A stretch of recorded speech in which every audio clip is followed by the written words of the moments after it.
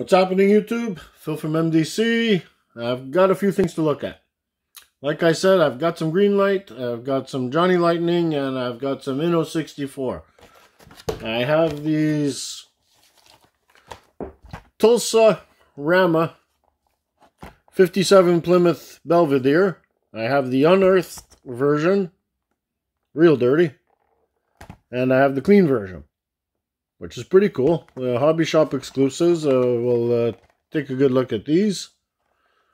Also, I have, for the first time, I have this 1982 Ford Mustang GT.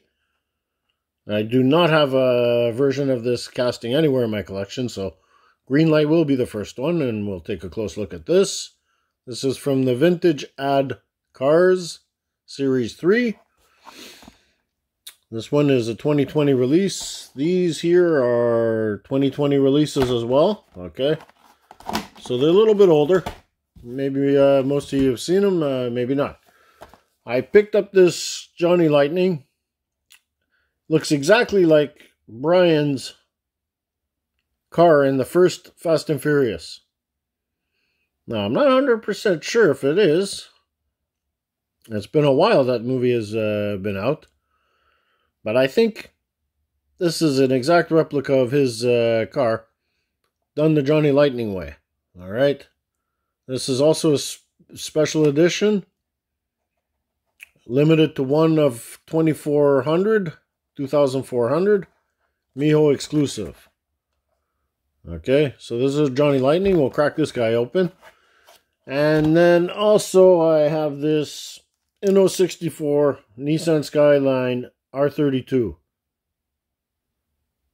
Looks pretty cool. Got a Playboy livery. Looks pretty cool. So we'll get this guy open as well. So yeah, okay. We've got a few cards to look at. We've got five cards to look at. So let's get to it. Crack them open. And I think we'll start off with this. I think we'll start off with this Johnny Lightning. No, you know what? We're going to start off with the Inno64. Okay? So we're going to start off with this guy. Get this guy open.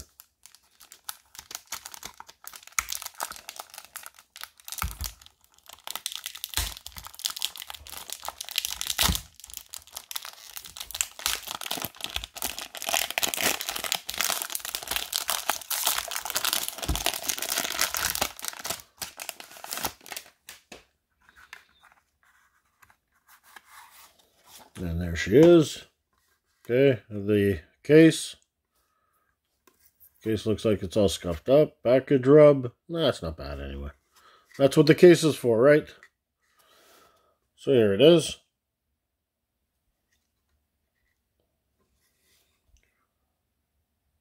Macau GP 2020 collection.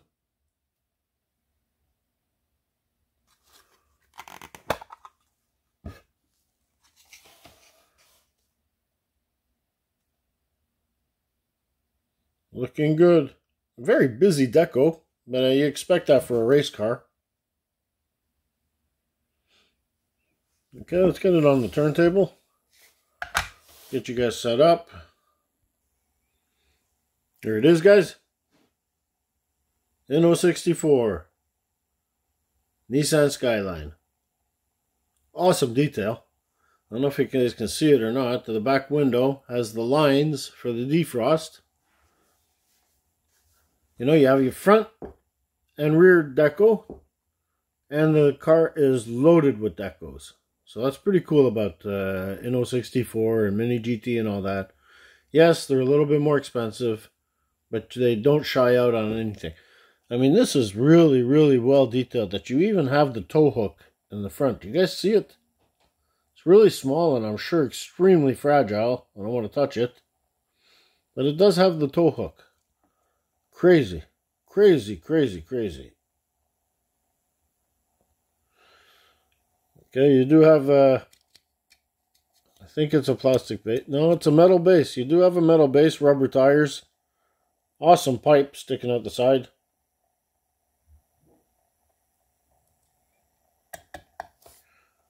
Doesn't roll at all.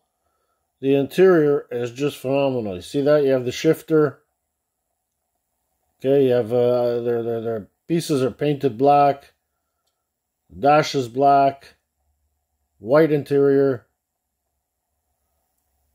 I mean, this thing is detailed to the max. Okay. It's a beautiful looking car. Playboy livery. JC Motorsport on the back. This car looks great. Awesome looking car. Awesome looking race car. Just loving it.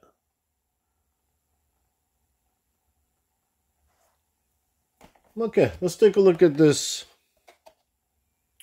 Mitsubishi Import Heat Johnny Lightning. Okay. Uh, right. 2004 Mitsubishi Lancer Evo. Okay. This is one of 2400. Okay. MJ Toys. Yeah, I really wonder if this is Brian's car. If, if anyone can correct me or tell me for sure. But I think it looks exactly like Brian's car. So if it is, we'll pay a little bit of tribute to Brian as well at the same time, guys. Rip Paul Walker.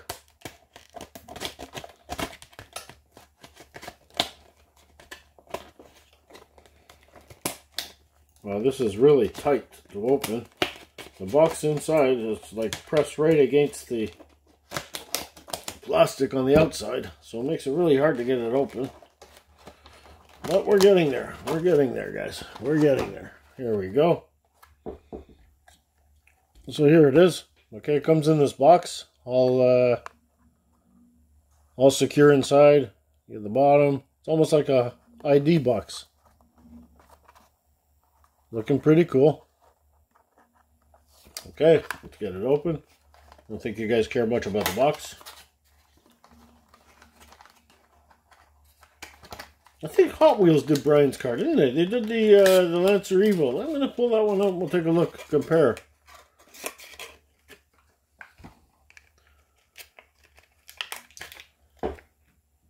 Wow, it's a heavy casting. Okay, Johnny Lightning, it's metal on uh, metal, rubber tires. It's a very heavy casting. And it looks pretty good. It looks pretty good. The wheel choice is pretty decent. I'm not sure if the back end is uh, correct or not. It does look a little short in the back end. In my opinion, anyways. But the car does look great. Look at this paint. The paint is awesome. Even the striping is, is well done. You have the front headlight detail, back detail, black interior. Good looking car, good looking car. Let's pull out the Hot Wheels. Where are you?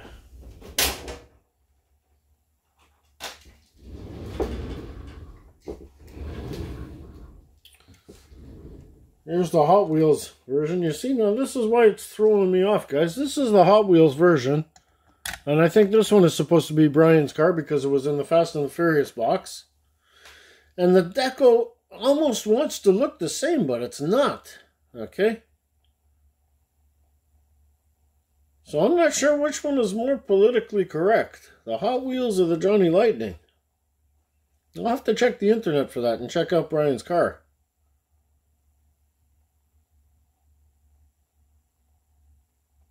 But very nice, very nice.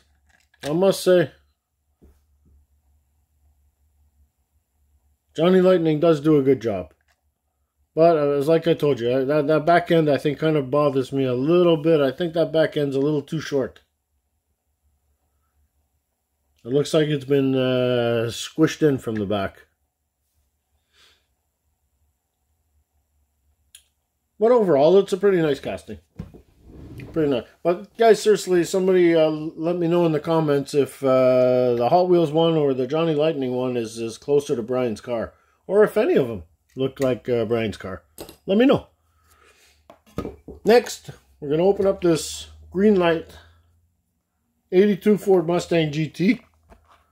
Okay, this is a casting I think is awesome. It's it's a car I think is awesome. Uh, this Mustang, uh, always found it uh, pretty cool. And uh, we're going to see if uh, we got lucky getting a Greenlight piece that's in great shape. Or if it has issues. Hopefully not, because uh, it's the only version of this casting I have in my collection. So hopefully we get a good one. Let's crack it open.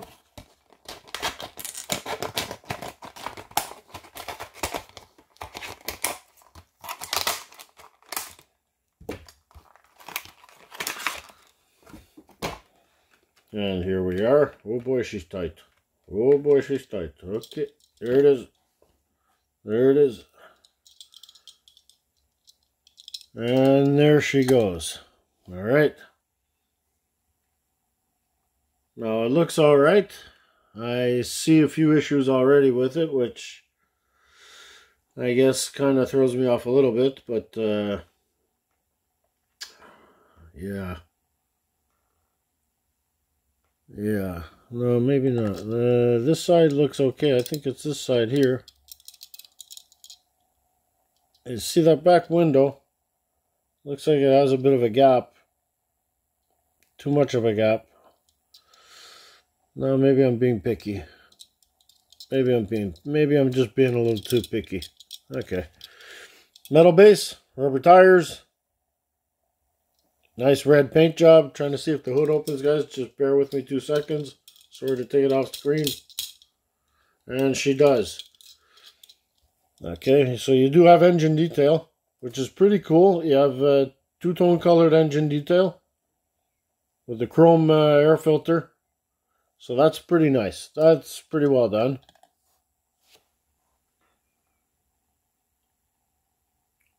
I like this casting. I think it looks pretty good. You do have a bit of gap in the window and uh, on the top roof. Doesn't look 100% uh, level.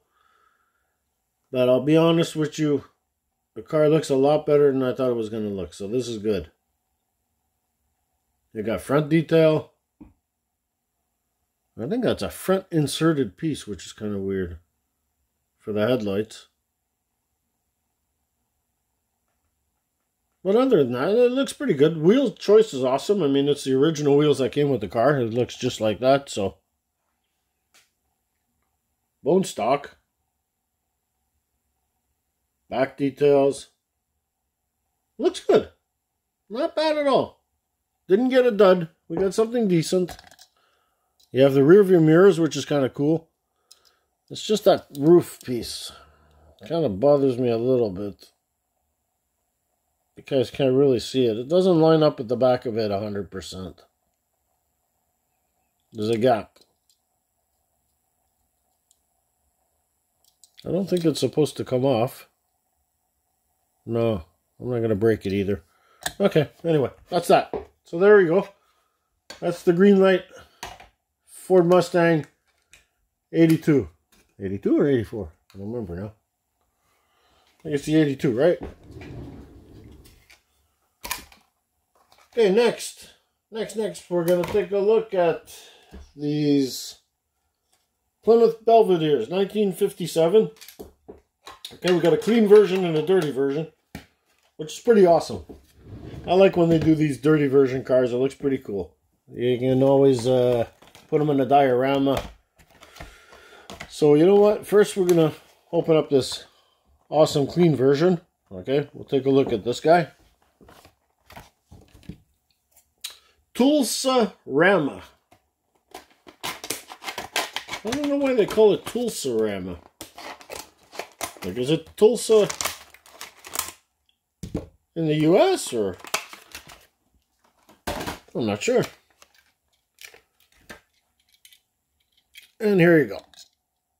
Okay, metal base, metal body. This one we have a number on it. 128. Nope. And there she is. The Belvedere, guys. 57 Plymouth Belvedere. Big car, heavy casting. Again, you got full detail, chrome bumpers, backlights, license plate. Awesome choice of white wall tires. Front detail. White top roof. Nice grill. Pretty cool. Pretty cool. Now we check the dirty version.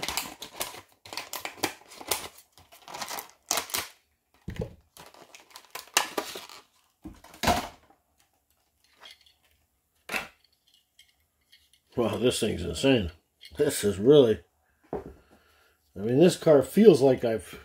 That they've left it out. Left it out for a long time. This actually feels like it, guys. It's really rough. The paint is really, really rough. Look at that. Rotted out. Rotted out. Actually really cool. It's done really well, you know?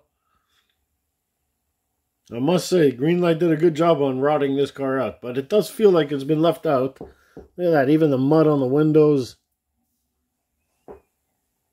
I mean, that's that's really, that's a lot of detail to get it dirty like that. That's a lot of detail.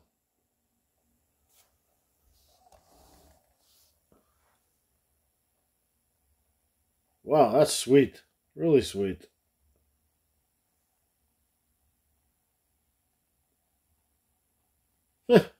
Anyways, there you go, guys. Some Greenlight, some Johnny Lightning, and Inno 64. I must say, I think the Inno 64 takes the cake for today. Not just because it's a Skyline, but because she looks good. She really looks good. Anyways, guys, till next time. Be safe, be well, and thanks for watching. Until next time, happy hunting, guys. Bye.